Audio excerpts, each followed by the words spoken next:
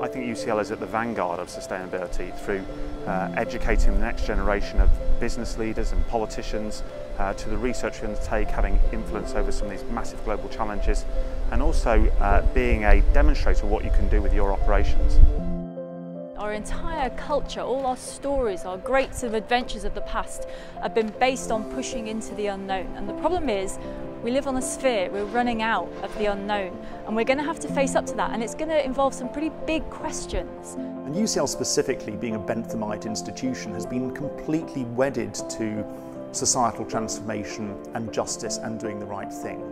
So I think we've got the intellectual firepower, the motivation and the capacity all in one place to do something extraordinary. So a lot of my research is focused on how environmental change, like climate change or land use change, is impacting ecological communities of wild animals. Biodiversity and, and loss of biodiversity is critically important for human health and well-being and it's an intrinsic part of uh, living on this planet.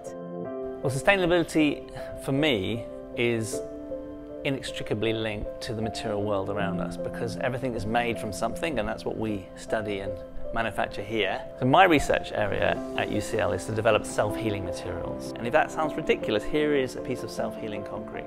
This gets cracked, there's small bacteria inside it that know it's cracked and they rebuild the concrete inside here.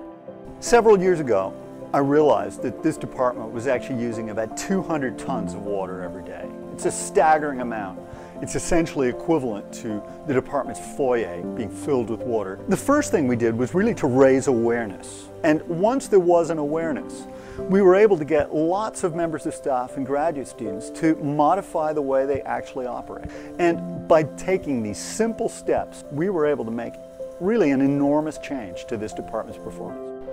Well, at UCL we have a great initiative called Green Impact um, and our office participates in the Green Impact Awards and I think we can all play a part in thinking about sustainability whether we work in academia or in professional services there's always something we can do. So our department does a lot to do with sustainability so we're actually just won an excellence award through the sustainability team we're very proud of it.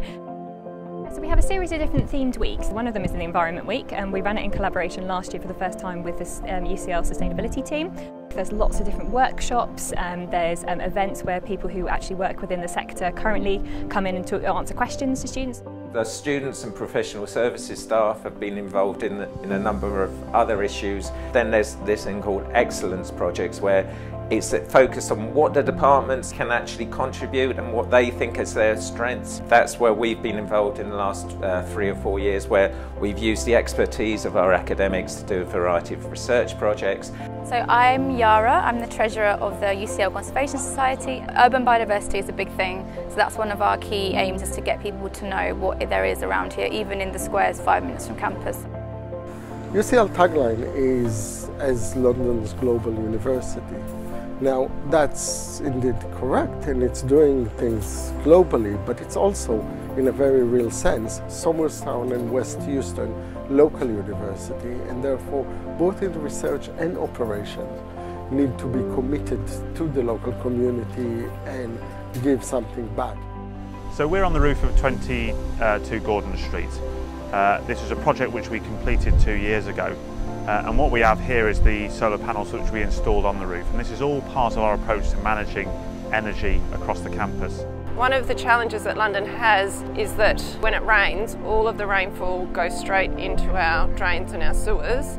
Green roofs are an example of effectively turning the city into a sponge so that when it rains, the green roof soaks up some of that water and slows it down in terms of its release into the sewers and drains. Global challenges to do with sustainability, as we all know, are going to take a huge amount of action to overcome. It's not always about looking outwards and researching those changes, it's also about incorporating those changes into what we as a university do, to practice what we preach.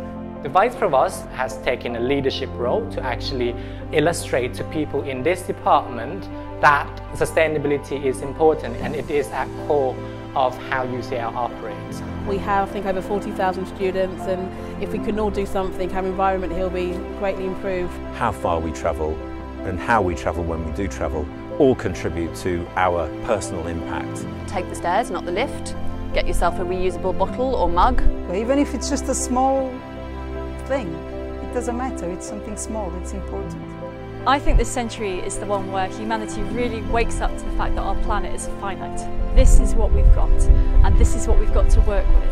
And if we don't work out a way to make it sustainable, this is all of our problem.